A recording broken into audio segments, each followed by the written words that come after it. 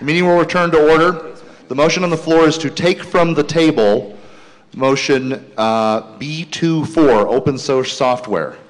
All those in favor of taking the motion from the table, raise your hands. Hands down. Those opposed? Hands down. The affirmative has it. The motion on the floor is item B24, open source software. And let me get back to it. Thank you. 20, oh, I see. It's on the bottom of the previous page.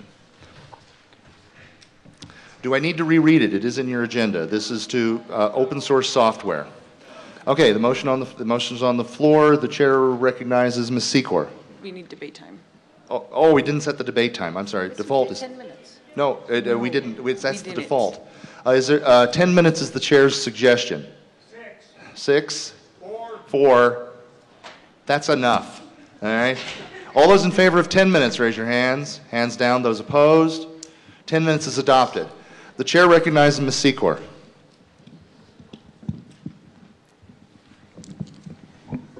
Hello, everybody. I'm Kate Secor. Um, this was actually the business I was here to do, not all the rest of this stuff.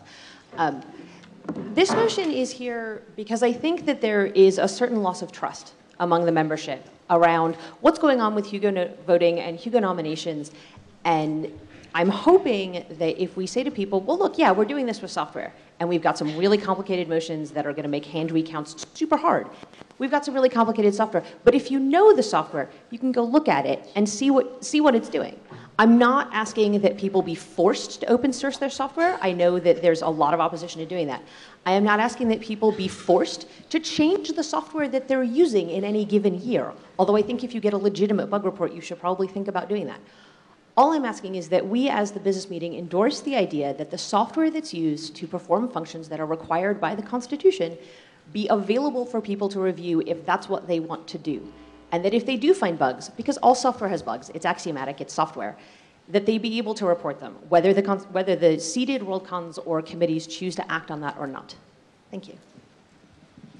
Uh, Mr. Oakes.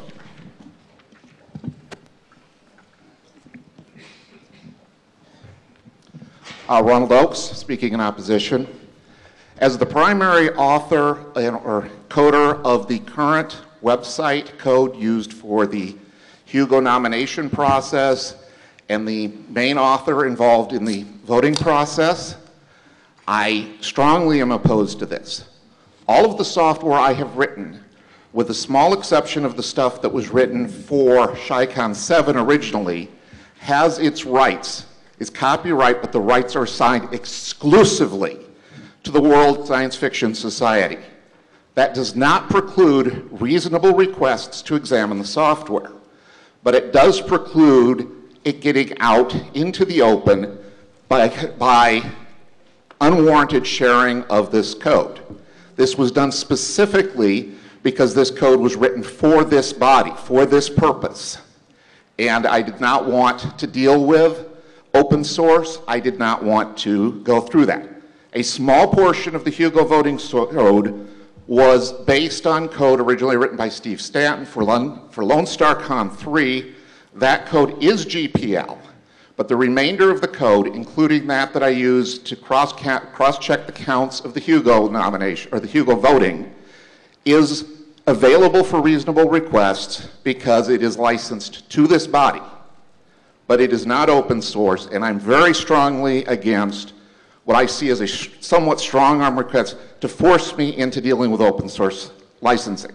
Secondly, as a professional software developer, as long as I'm writing this and assigning it to a body, I believe I am completely safe from any employment issues. However, if it is forced into the open source, that could cause me professional issues in the future if my employer says, hey, you're dealing with this open source software and we don't like, we, we, it, it's in violation of our open source policies. Thank you. Speech in favor? Yes, uh, Mr. Eastlake.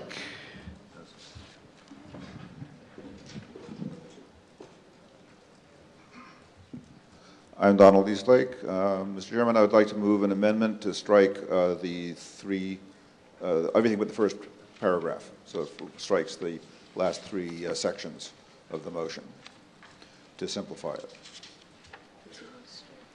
Can you, I'm sorry, what are you trying to move? I'm trying to move to amend the, uh, this. Motion by striking out what? Striking the last three parts. Uh, the- So only the the- first part, the first, was resolved through the uh, first half-blank line.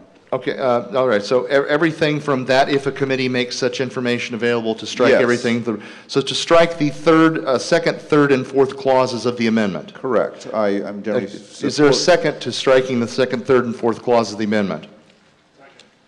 All right, you get to speak in favor of this. Okay, I'm generally in favor of. a- Not more than five minutes divided evenly, takes out of the main town. I'm generally in favor of a recommendation, not a requirement, in favor of open source, but I think all this stuff about being required to give a contact and bug reports and all this sort of stuff just muddies the issue. I think a statement in favor of open source is fine if we want to do that, but I am opposed to the other parts. A speech opposed to the amendment striking things out, uh, yes. Can you give me like two seconds? Okay, the, the, the time, go ahead and come on up while the timekeeper straightens out the time clock. And we'll wait for the timekeeper's indication that she's ready to take the next speech.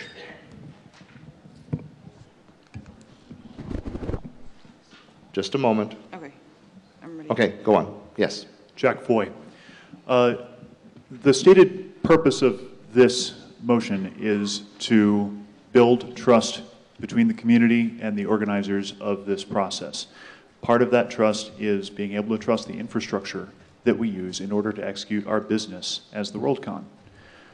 Uh, It is an extremely common practice uh, for us to build trust in the software that we use by asking more people to review it and tell us about places where we have done it wrong. That is essential to this process. It is an added bonus that we also get to study the software and, and understand what's going on. But the major reason to do this is for us to be able to identify and rectify problems with how we are doing this. Uh, Speech in favor of the amendment to strike the last three clauses, Mr. Kovalcik. How much time is remaining in favor? Um, 125 seconds, a little over two minutes.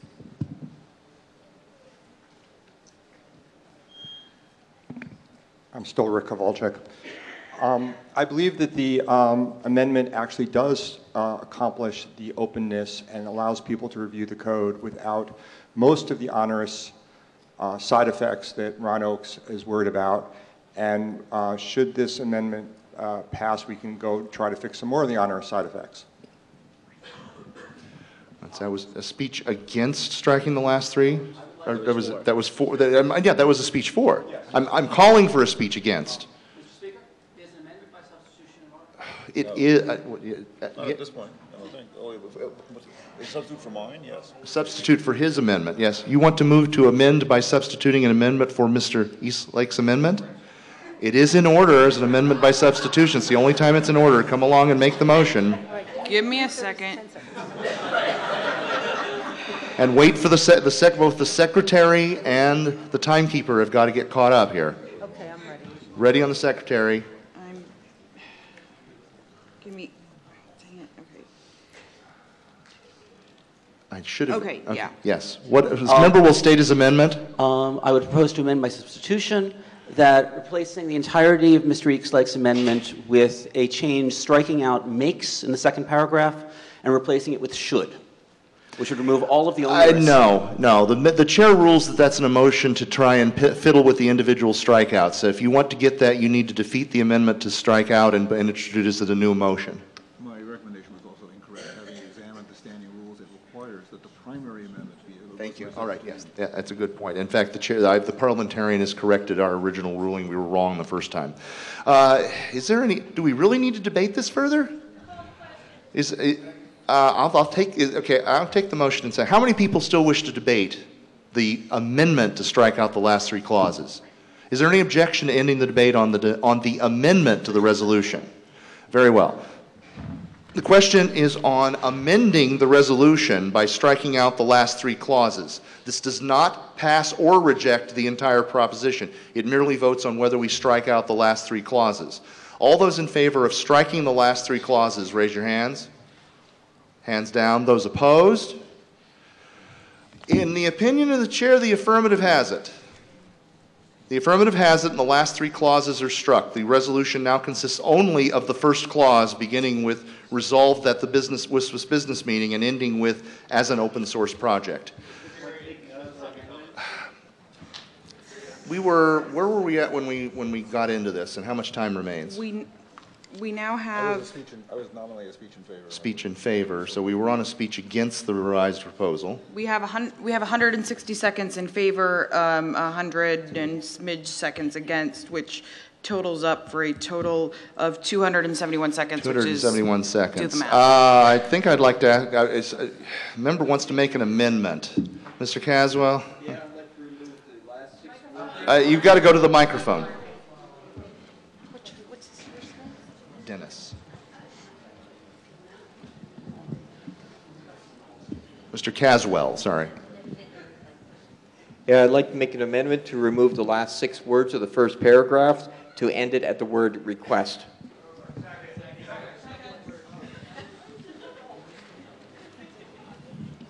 It's a motion to strike out the words "or as an open source project." All, uh, is there, do we need to debate this?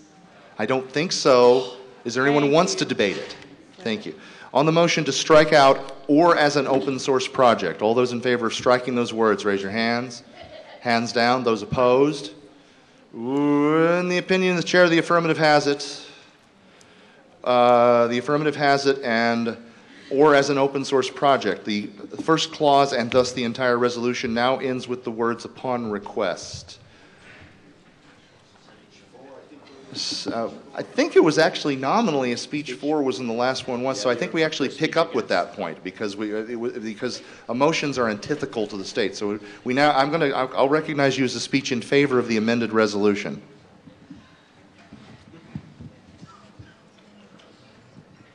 with all due respect to uh, uh, Andrew Adams still, uh, with all due respect to, to Mr Oakes' concerns about this, I do not believe that making the uh, source code of the software we use available to any member poses any professional risk to those who have developed the software, unless they were being, and I stress I do not suggest that he is, unless they were being incompetent in doing so in the first place. It is it, making available to our members that is the point of this motion, and particularly now as amended, that is the, that is the crux of this. A speech against? Uh, Mr. Harris. See, I'm trying to get both wings. I apologize.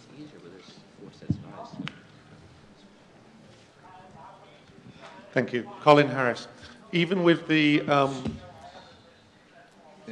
even with the fact that we've moderated the motion somewhat with amendments, I'm still strongly against it. So I'm still strongly against it. Not least because the definition of the software in scope, which is anything needed to support the Constitution, implicitly also includes all of our membership administration software and the way we do memberships online and many other things that are typically redeveloped every year. As someone who's worked in IT for 30 years and who also has worked with the Hugo software and site selection systems, there's lots of people who've been involved who've put goodwill in who might think twice if they had to um, expose that software. Members are going to have to take their conversations out of the room if they are speaking on radios or microphones. We are very close to time. So um, basically, I I just think this isn't a good idea. My experience is that people who've come forward offering to help, that help has been accepted. Uh, but I don't think we want to be enshrining this as a resolution. The chair observes that we have reached the end of our time available here. Is there any objection to ending the debate and bringing this motion to a vote? Yes, there is. Uh, is there a motion to close debate? All right. How many? Uh, hearing many. the- How many people still wish to debate this motion? Ra- Show of hands, please. Hands down. All those in favor of ending the debate and bringing the motion to a vote, raise your hands. Hands down. Those opposed. Hands down. There being more than two thirds in the affirmative, the debate is closed. The motion is on the amended open source software, which consists of the printed words all the way up to the words to, available to any member upon request, and that is all. All those in favor of this resolution, raise your hands. Hands down. Those opposed. Hands down. The opinion of the chair, the negative has it. How many people want a division? Raise a hands. The chair believes that is less than 20% of the House, and the chair's ruling is that the negative has it, the resolution fails. It is now 1245, and we can no longer continue at this point. I want to get you to the po- uh, point out here. This leaves us undone, and we will try and pick them up tomorrow. items A2, 3, and 4, the pending constitutional amendments, and then into the new constitutional amendments, of which two-year eligibility is the only one that was killed. The chair, no, tomorrow's meeting starts with site selection business, of which we will have, and question time for the seated Worldcons. The chair would encourage seated Worldcons and their question time and the bidders for 2018 to keep it short. We only have about two hours and a little bit of extra time tomorrow because we'd like to get the Worldcon chairs photo session, which takes some time as well. And anything we don't get done, we have to start at the beginning of Sunday's meeting. All right, at uh, 12:47, the meeting, the first main business meeting is adjourned.